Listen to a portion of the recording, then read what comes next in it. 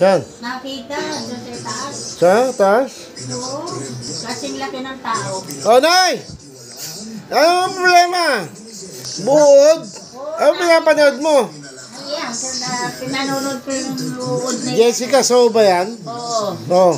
Tapos, Kasing laki ng tao ang luod na tinitignan nila. oh. So, tignan mo sa susunod, kaya nakikita mo. Eh, yung uh, uda, uda, ng tao.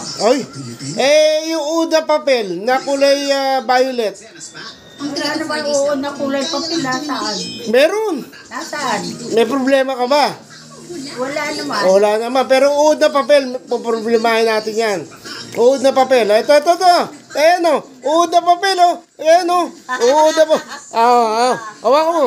O, yan. O, yan. Ano, o, di ba? Isa lang? Ay, problema ka na naman. Ina!